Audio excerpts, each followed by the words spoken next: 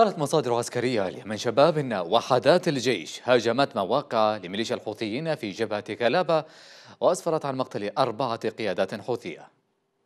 في خضم المعارك المحتدمة التي يخوضها الجيش الوطني في محافظة تعز تدور معارك شرسة في شمال وغرب محافظة تعز تحاول الميليشيات الانقلابية التقدم إلى مواقع الجيش خلال ال 24 ساعة الماضية كانت هناك محاولة تسلل للميليشيات إلى مواقع الجيش في كلابا شمال شرق المحافظة.